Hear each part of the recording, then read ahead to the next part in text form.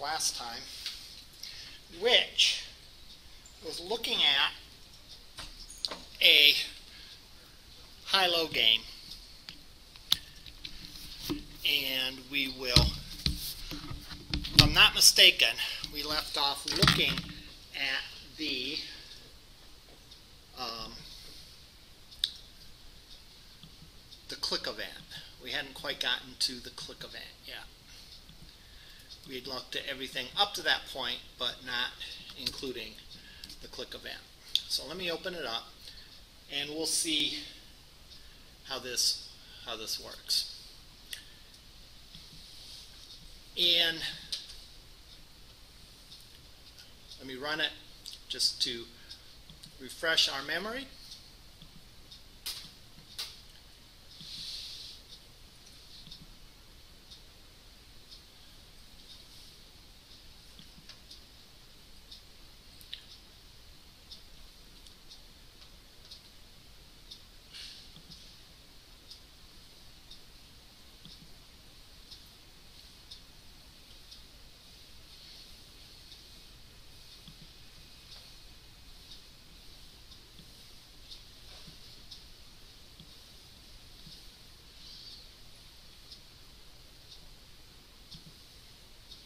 Okay, we pick a choice of low, 7, or high. We then roll the dice, and if we roll a 8 through 12, we win if we picked high. If we roll a 7 and we pick 7, we win. If we pick low and it's 2 through 6, we also win. The payout is 1 for a low or high and 4 for a 7. I talked about this in my 243 class. Are any of you in that one today?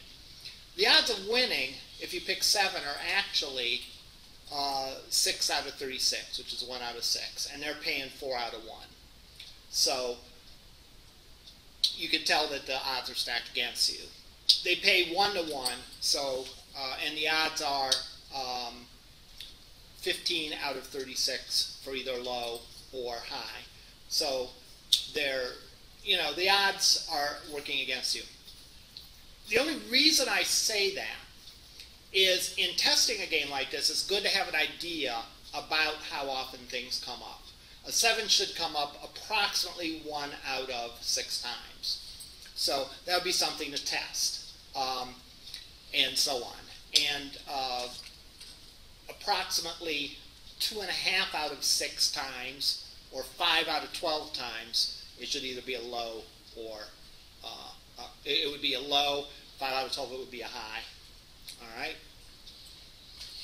Um, then two out of 12 should be. So run 12 tests and see what it is. Uh, run 24 tests maybe. The more that you do, the better uh, it'll come closest, closer to the expected values. Anyhow, we have a button in this case. We can pick what we want. Pick a 7. That's gainable. And play. Ah, we lost. Lost. Lost again.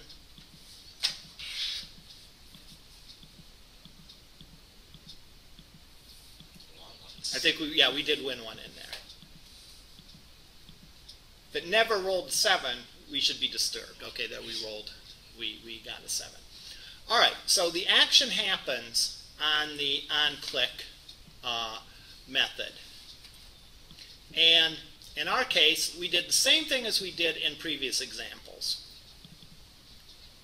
Our activity extends activity, app-compat activity, and implements an on-click listener. That is an interface that we're implementing. The interface only has one method, on-click, we've uh, by, by saying that we have implemented that that um, uh, interface, we are promising that this class will have an on-click event that looks like this: on-click that accepts as an argument a view. All right. If it didn't have that, we would get an error compiling. That's what it means to, to implement an interface. It means that we are going to have all the methods that are defined as abstract in the interface. We're going to have implementations for. If we don't have that, then it's an error. And in maybe in, in less technical, more more lay people terms, uh, an interface means it can serve in the role of, it can, it can fulfill that role. So by saying that we've implemented that interface, and by implementing this onClick method, this class, the activity, can play the role of an onClick listener. That is, it can have the code that happens when we click the button. Just to review, super on create, save, uh, saved instance state, first line, and then we um, effectively what that's doing is that's calling the superclasses on create method because there's stuff that happens there as well. If we override a function, then it completely overrides it. If we want to get what is in that um, um, superclasses uh, method and add something onto it, effect effectively we're extending that method. So we're executing all the stuff that's in the superclasses on create method, then we're doing this stuff as well. The set content view sets the screen to the layout that is defined in the XML file activity main. We grab a button, a pointer to the button called P by using this statement which we looked at at great length last time, where we find the view on our activity main, or in our content view, we find the view that has an ID of button play, BTN play. And we know that that's a button, so we cast it as a button, which means that we can now do button things to it. One of those button things is setting an on-click listener. So we can set the on-click listener for that button. And we set it to this. We set it to the object for this activity. We do the same thing um, for the text view that contains a balance. And doing the same method, except casting this one as a text view, because we know this is a text view. And finally, we set the balance to the value of the balance variable. So we did everything up to the onClick event. All right? On the onClick event, what we do is, first of all, we bet. All right? So we deduct 1 from the balance right off the bat. If they win, we're going to add 5 to the balance or 2 to the balance. I could have written the, the code a variety of different ways. This is the way that seemed to make the sense for me. To deduct 1, and if they win, you add 2 to it. If they win with the 7, you add 5 to it. I have defined as instance variables in this class two dice variables. Now this is a custom class that I created.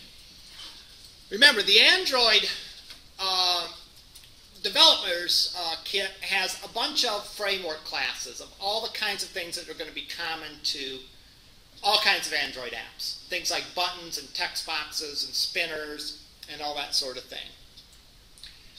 What you can do, however, is you can create your own components. You can create your own components in a variety of different ways. Your own components might be visual components, all right? Or they might be sort of problem domain components. In this case, the dice is sort of a problem domain component. The device is one of the, uh, or the dice is one of the components that we have in our game, all right? If we were playing this manually, there'd be a player, there'd be dice that were rolled, and there would be, you know, points that were bet or wagered on it. So one of the components of this would actually be dice. So we've created a software represented, representation of that. Now, we created a class for that for a couple reasons. It's possible, for example, if we were writing a suite of games, that we might want to use the dice class in a variety of different places. So if we had all the dice, uh, if we had all the dice code contained exclusively within this class, then it would be tough to reuse it. But we recognize that, hey, dice is something that maybe we'll use somewhere else. Maybe we will have, as part of a bigger app, multiple activities where people can choose what game they play. Maybe we make a game uh, or, or uh, um, a whole set of dice games. You know, high-low, Yahtzee, whatever. All right? So because of that, we've made our own component. Here we're creating instances of that component. So we're saying associated with this activity, there is two dice objects named D1 and D2. This says, is everyone familiar with this syntax for this declaration? This is the variable type, that is dice, or the class. This is the name of the variable, which is called an object reference variable because it points to an object on the heap. And here we're creating a dice object using the no argument constructor.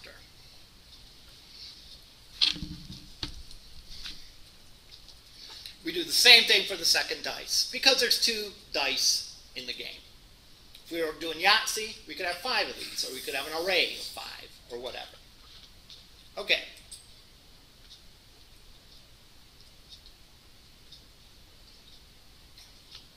Let's look at what is in our dice object.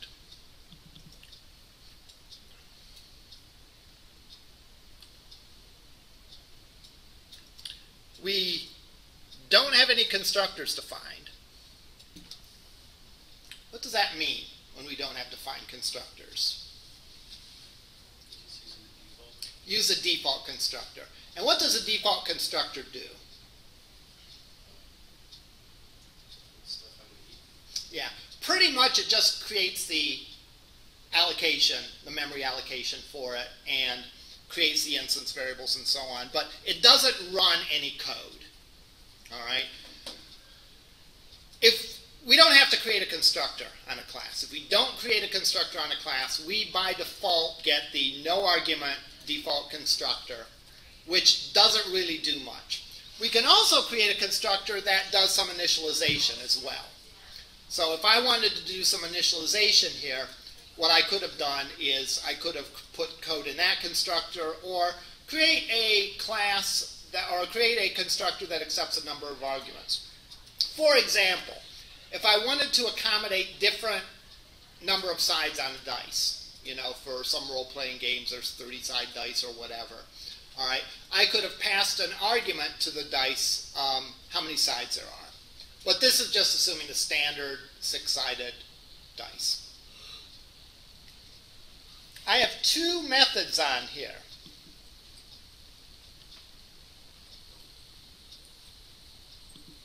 I have one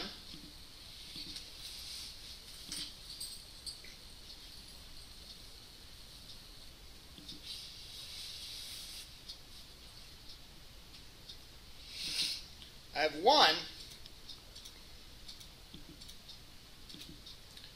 that says roll, and I have one that says get image name. So it's pretty simple. I probably could also have a get value method too that would simply return the value of the uh, of the dice if I needed it elsewhere. So I could do something like this. What does a, a declaration look like in Java for a function? We have the scope of that function, which is, is public, which means that other classes can call it. We have the return value of it. We have the name of the function, any arguments that exist for that function, and for each argument we have to specify the type and the argument name. This is simply going to return the value of the uh, of the die so we're simply going to return the value. So there could be other methods on here too, but these are sort of minimally what we want. What does a roll do? The roll randomly generates a number between 1 and 6.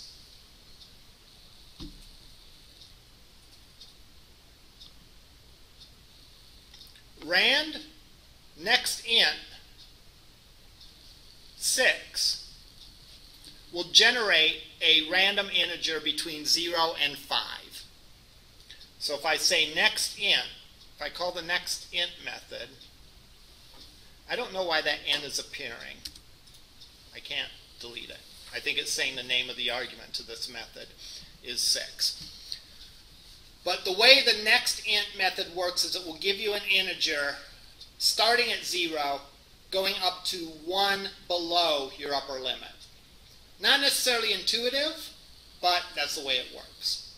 Now, our dice, however, don't have a value from 0 to 5. They have a value of 1 through 6. So to make that 0 through 5 be the range of 1 through 6, we add 1 to the value.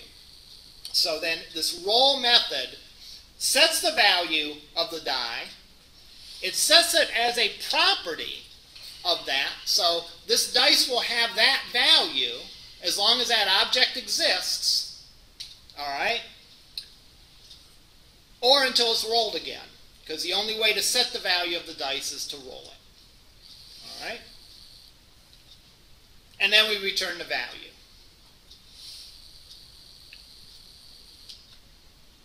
The get value simply returns a value, which I didn't have.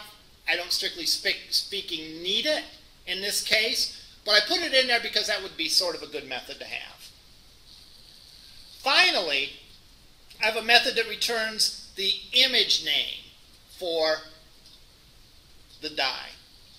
If you notice in my resources here, underneath drawable, I have a series of images, D1 through D6 JPEGs. If I look at these, there's D1, D2, and so on. So the file name is simply a D followed by the value of the dice, 1 through 6. And that's exactly what this method returns. So this method returns the name of the file for whatever value that dice has.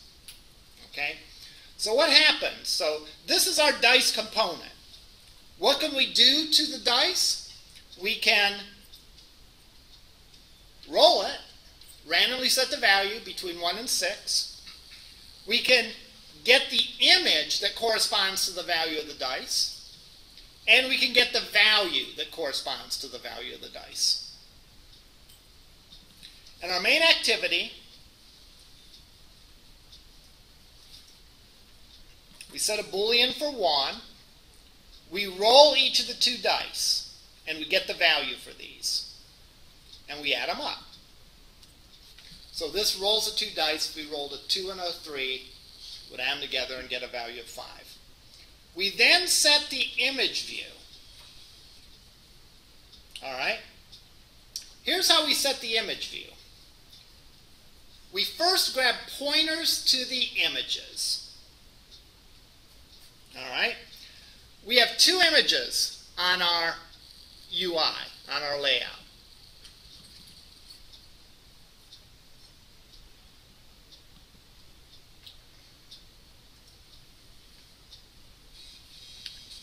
One's called Dice 1, one is called Dice 2.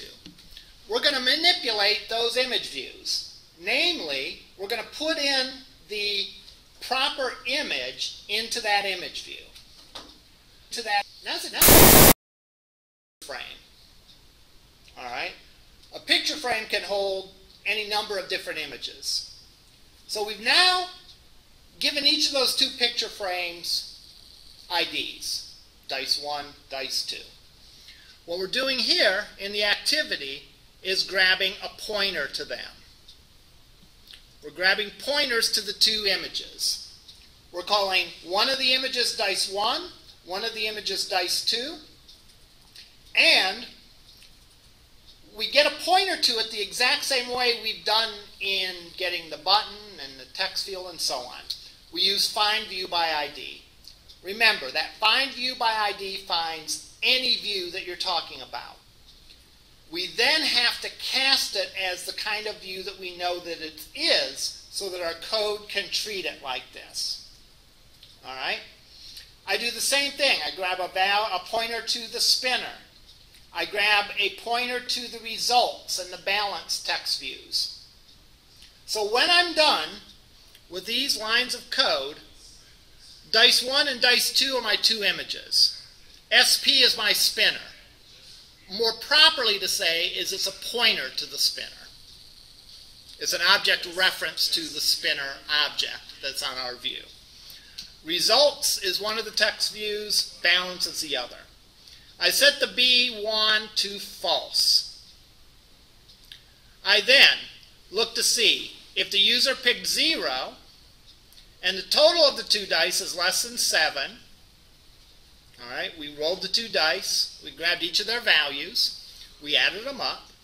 If they picked item 0 from the spinner, that's what SP get selected item position does. It returns the index at that position. So 0, 1, and 2. If it's equal to 0 and the total was less than 7, then we have a winner because that means that the user picked low and it was low. It was less than 7, which means that they won and we can add 2 to the balance. If SP get selected item position equals 1, that means they picked 7, and the total was 7. Then they won, and we add 5 to the balance. Finally, we look if they have uh, chosen an item with an index of 2, and the total is greater than 7, they've won, and we add 2. If they won, we display that they won, otherwise we display that they lost. We set the value of the balance again, indicating if they won, we added money to it. If they lost, we subtracted money to it. And then finally, we have this big, long instruction that sets the value. Let me rephrase that. It sets the image that appears in the image view. Remember, dice 1 and dice 2 are image views, right? And think of an image view like a picture frame. It can contain many different pictures. Every time we roll the dice, we might get a different image to put into dice 1 and dice 2. This is the syntax of the statement. We're setting the image resource for those image. How are we setting it? By getting the resource that has the identifier that corresponds to the image name. And we know that it's a drawable. And we know that it's part of this package. A drawable, that's where the images lie, right? So that's why this is drawable. Package, well, it's part of this package. It's not part of some other package. And we know the image name comes from the dice class. What is D1 and D2? D1 and D2 are the dice objects. If you remember when we looked at that dice object, there was a method to get the image name. That will give us this D1 through D6. What we're doing here then is we're actually getting the Android identifier for that resource because that's what, whoops, that's what the set image resource needs. Doesn't need the image name, it needs the, the uh, identifier for that resource. So we use the image name to get the identifier, and then we set the identifier for that image view, dice 1 and dice 2, to the image. So that plays the game. All right? And we're all set.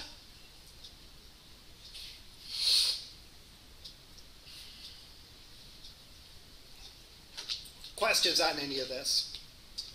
Yeah, on uh, the dice.java, did you use Android to create that yes. file? And how did you do that? Okay, so if I needed to make a new class, I would yep. go in here, File, New, and I would pick Java class.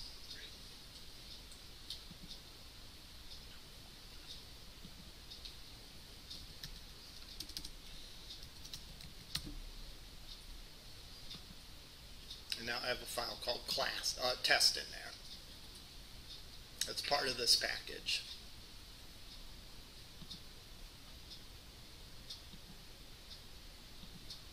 Other questions? Yeah, um, call you had to set the image. Mm -hmm. Go back to that.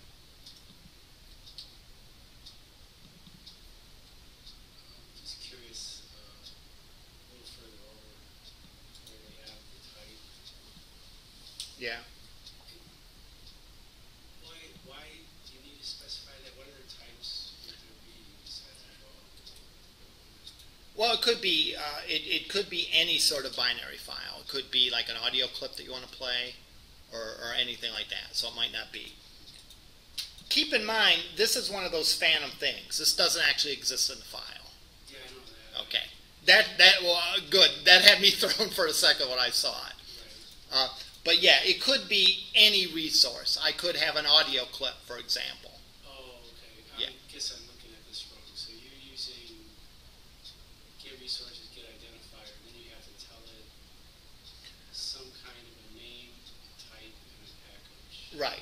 In, in other words, how am I getting the identifier? I'm getting it by the identifier's name, or, or I'm sorry, by the not the identifier's name, by the resource's name. So I have the resource's name here, and I'm ex- explaining that this resource is a drawable. All right, and it's part of So this package. the name itself isn't unique. It could be a duplicate name in another area or something. That's why you need to specify the rest of it. Correct. Yeah, correct. Uh, I could have another D1 in a different application, for example, or I could have an audio file that was D1 or something like that. Right. So you have to you have to qualify D1. That's a drawable in this application. Effectively, is what that says. Other questions about this? Excuse me. Um, okay, we'll leave this one then, and we will look at another example.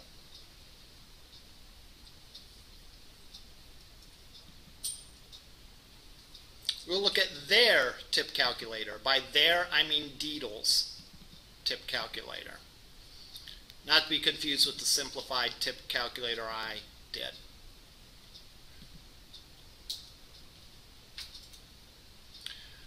I'm going to look at the behavior of it first to see what it does. And then we will look at the files that are involved and then we'll dig into it. So probably do like about the same thing we've done for all of them so far. One thing I had to do for this when I downloaded it from their website is I had to go in and change the build Gradle to 2.3.1. All right, at any rate, let's run it.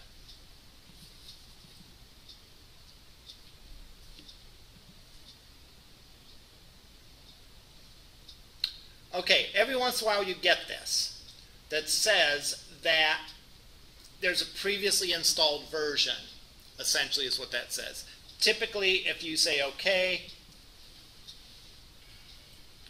it will do its thing.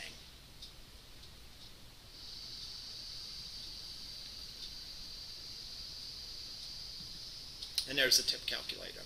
The previously installed version was just something I had done earlier today when I was playing with it. And it recognized that it was out there on that virtual device, so it complained when I did that. All right, we should notice a couple things right off the bat with this. Number one, we're already in keyboard mode. Our focus is on the enter amount field. And we can enter that in. There's a slidey that indicates the amount of the tip.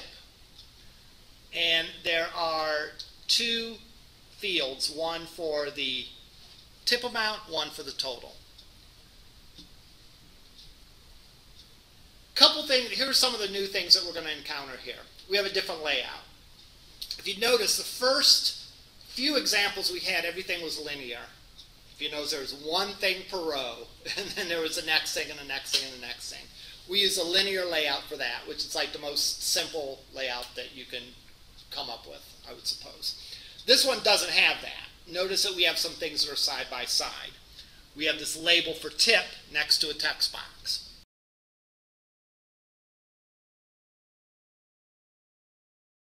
Image next to the slider, and as we move the slider, that value changes. So we can instead of like we had in my simple tip calculator where you could specify poor, good, or exceptional, we can actually gear the percent, and it defaults it to, to 15%. The other thing to notice is as I type in values here, it automatically does the calculation for me. So, if I spend $150 on a meal and the service was excellent, so I gave a 23% tip, the total tip would be $34.50 and the total of the entire bill would be $184.50. As I go and slide that, automatically do those two things change. All right. Likewise, were I to change this,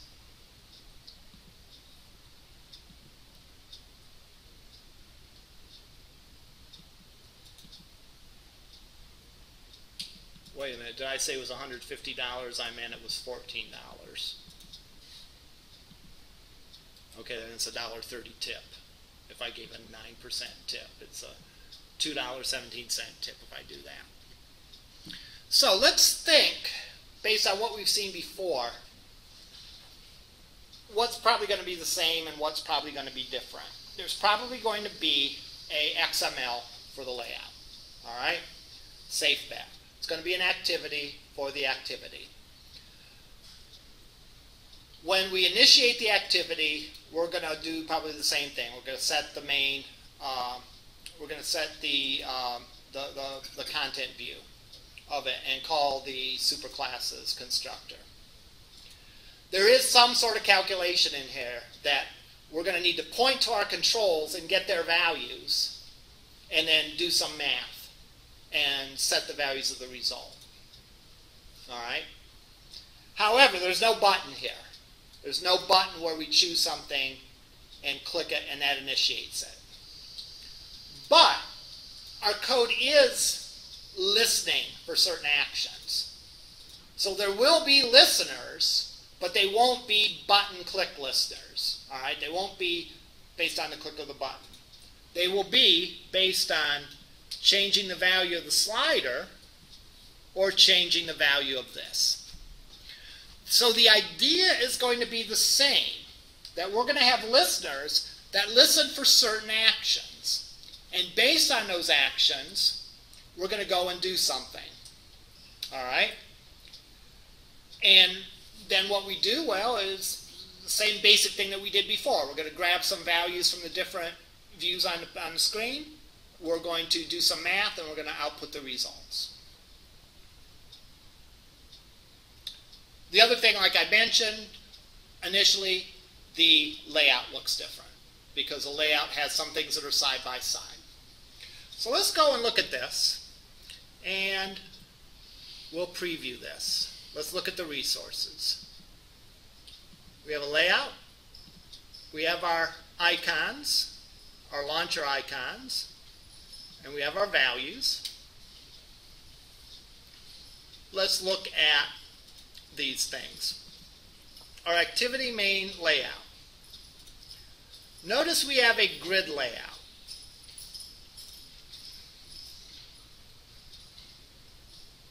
Is there generally a preferred layout you just you just look at the application and see what makes sense for, for the application. Uh, I mean that that's the way that's the way I would do it. The the the table is useful because a lot of forms that you have would be sort of like columns, right? So a grid layout is, is typically a very popular thing to lay things out on. So yeah, grids are pretty good. You know, I mean, even getting to web pages, you know, grid layouts are, are where it's at, you know, a lot of times. Um, but I wouldn't say that in general because, again, you, you have to look at the particular application that you're looking at. Notice how this works. In our grid layout, and I said table, but I meant grid, we have two columns. All right? We have these other attributes. The height and the width is going to match the parent. which means that the whole grid is the whole size of the screen. All right.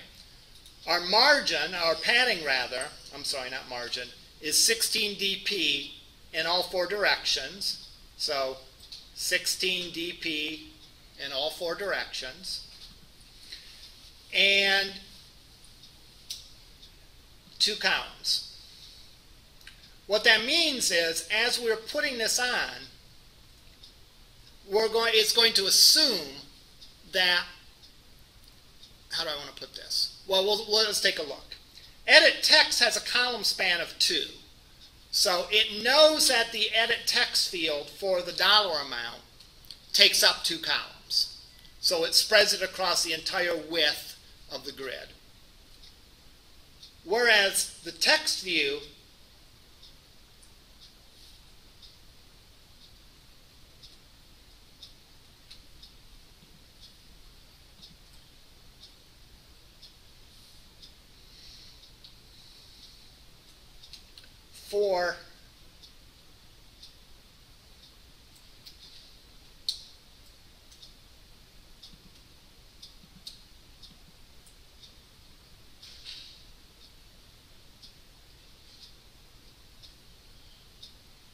Oh,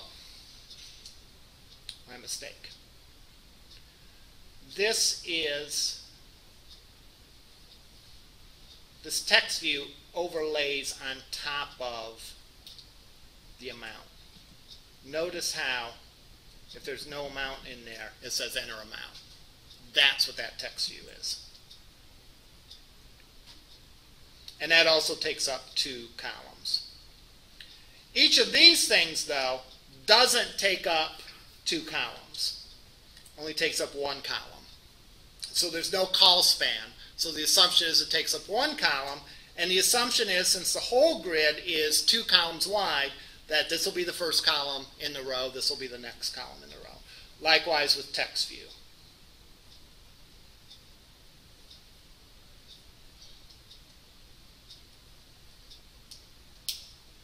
And that way all the way down.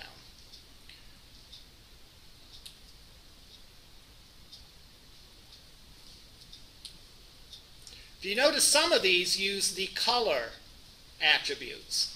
For example, the text view says at color amount background.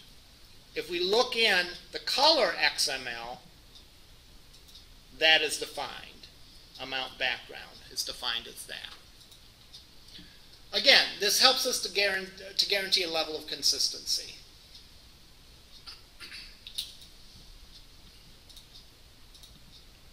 Likewise, the result background has a certain color, and we set both of those fields to that background. If we look in the XML.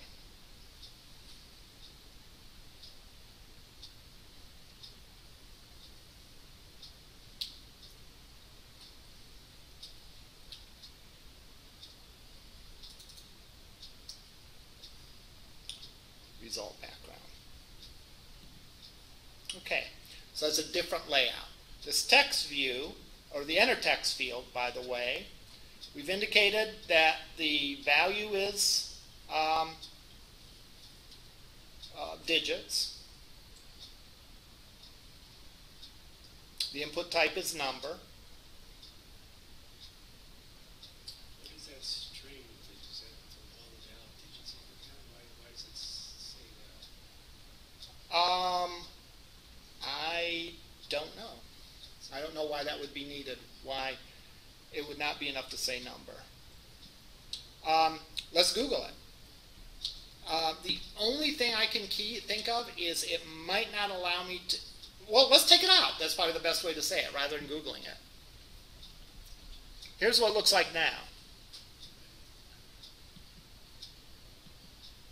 I can put in 3. Can I put in a minus sign? No. Can I put in a comma? No. So my guess would be is that that's saying, hey, you can only put in those numbers. I can't even type in a decimal point. It just automatically, the decimal point automatically appears as I'm typing in the number. But I can't put a negative or whatever. Let's see what happens if I get rid of the digits.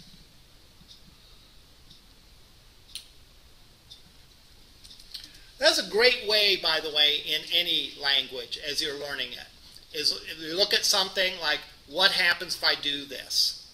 All right? It's good to have a backup of your program before you start doing that, or at the very least, make sure that you can undo it. So in this case, if we're going to uh, add it, I'll bet it would let us put any kind of number, even a negative number in there. So we can now go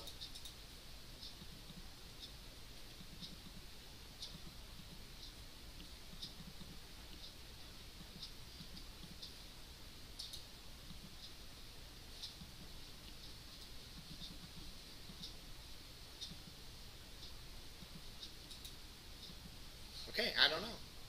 Seems to be behaving the same way. Um, let's now let's Google it.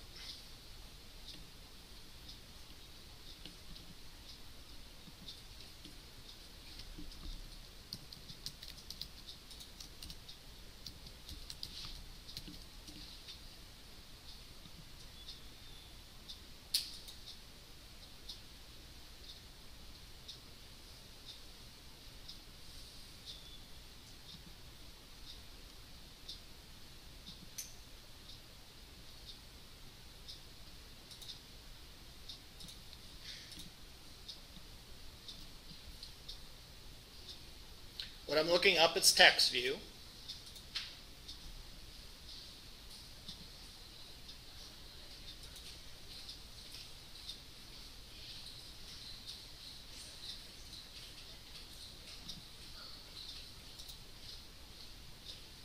Probably should look up edit text.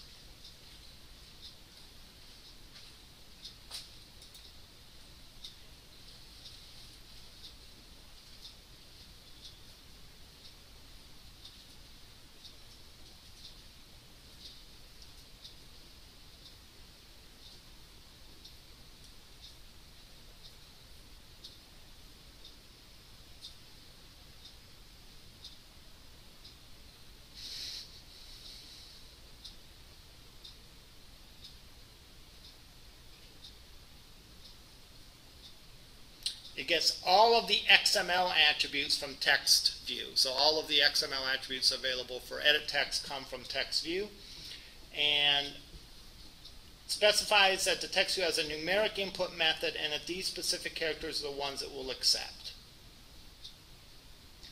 I honestly, from that, can't tell the difference between setting that the value's a number and setting the digits to be that.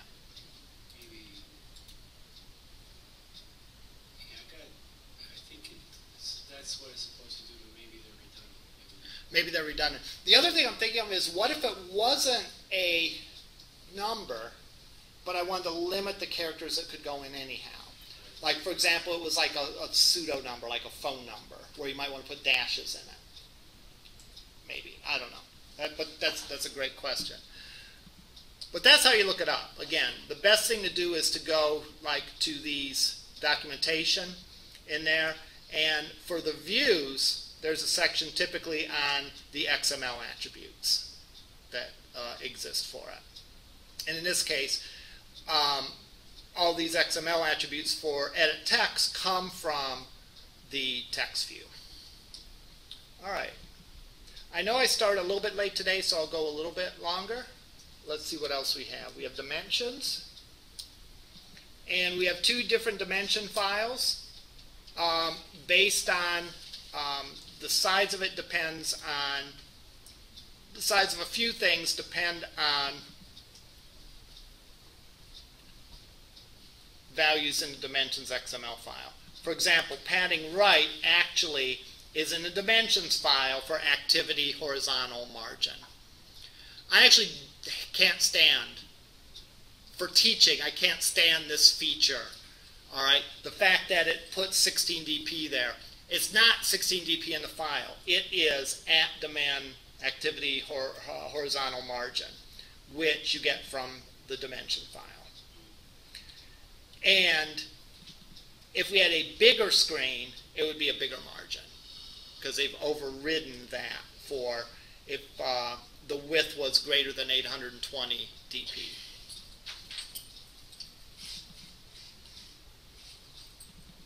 Here's our strings.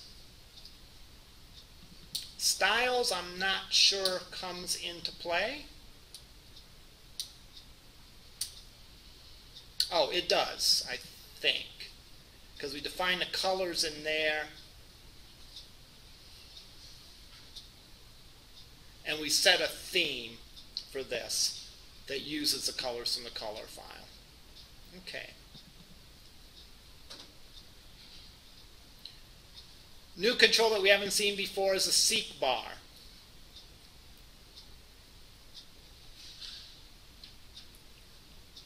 Curious what Android indeterminate means.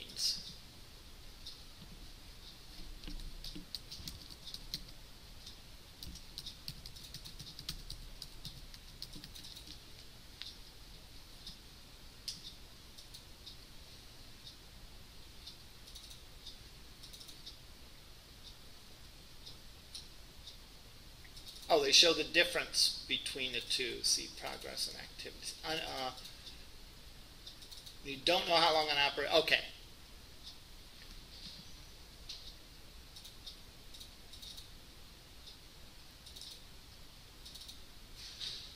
The same seek bar and progress bar are used when you're like loading something and you think you know how long it's going to be. So if you know how long it's going to be, you can specify and then the seek bar will, will take that amount of time to move. In this case, we're manually setting the seek bar. So we are uh, set indeterminate to false. It gives us the initial value is 15. The maximum value is 30.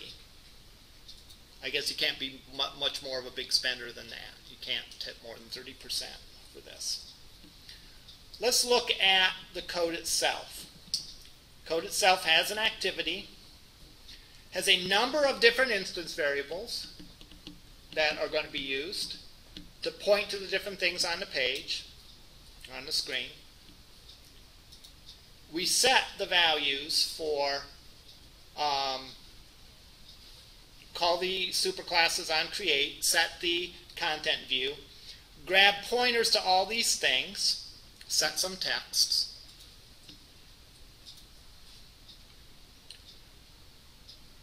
and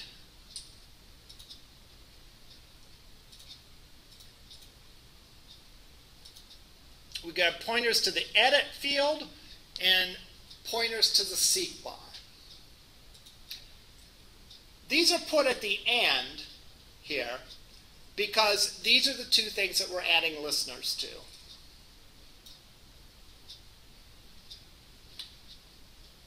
Because those are the things which cause the calculation to occur.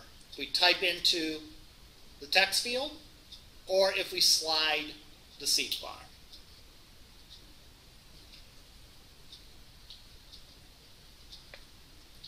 notice that they're not click listeners, right? Because it's not clicking that we're doing. We're changing the text or we're changing the seek bar. So it's different kinds of listeners. That's why it's important to cast these variables as what they actually are. Because we can't add a seek bar change listener to a text box. Only seek bars can have that assigned to it. So therefore, the compiler has to know that we we're going to treat that view like a seek bar, because we know it's a seek bar. Now, where do these listeners come from? They're actually defined here.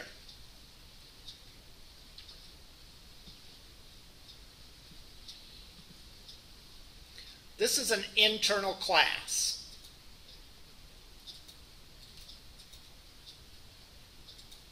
right in the middle, right smack dab in the middle of the class declaration for our activity, we define a new class.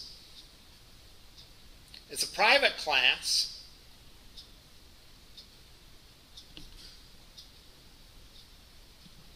It's called, well, it's not really called anything. This is also known and you can do this a couple different ways. It's an anonymous class because there's no real class name to it. We are saying that final on seek bar listener, seek bar listener equals new seek bar change listener, and then we define the entire class inside of this.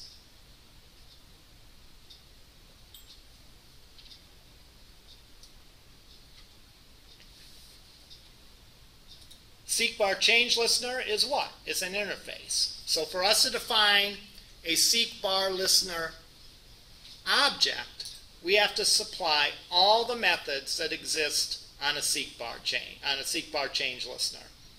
And that is the progress change method, the start tracking, and the stop tracking. In this case, the only thing we're interested in is what happens when the progress changes. In other words, what happens when we slide the progress bar, the seek bar rather.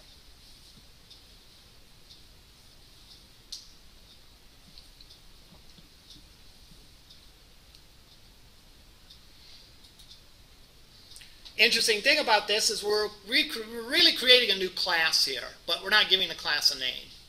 We're saying that it's a new uh, on-seek bar listener, and we're not really giving it a name.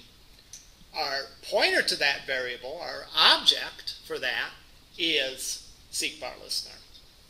And we've put all the code in here that we need to to satisfy that interface.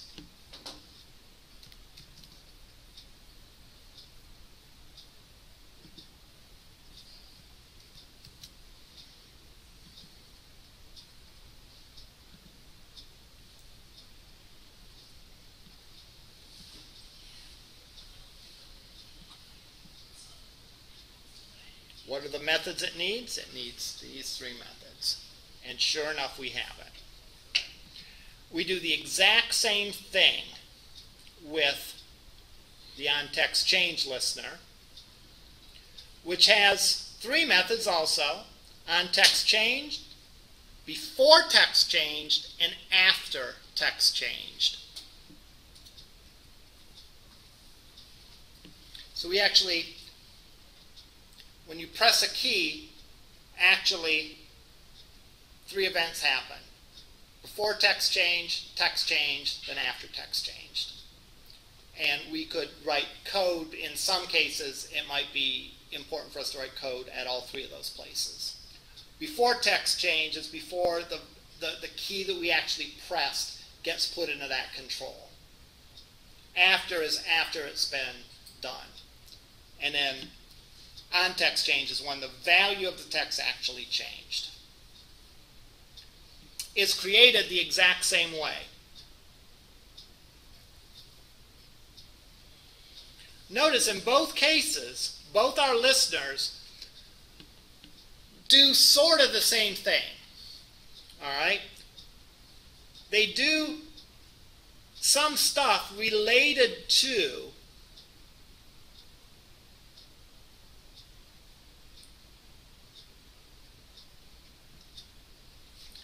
the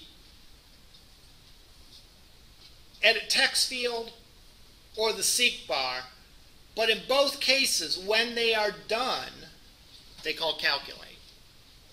Because either case, if you change the amount or if you change the percentage, you need to recalculate. And the recalculating is what does the actual work of calculating the tip. It grabs a value from the uh, grabs a value from the edit text field, grabs a value from the seek bar for the percent, does the calculation, and displays it. All right, the main difference from this between the previous examples was number one, the layout is different. So we did like the simplest layout possible on the first couple of examples with just a linear layout. What's also different with this is in this case, we have two things that the user can interact with. So we have two separate listeners. And those listeners are defined in a different way. We're not implementing the interface on the activity itself.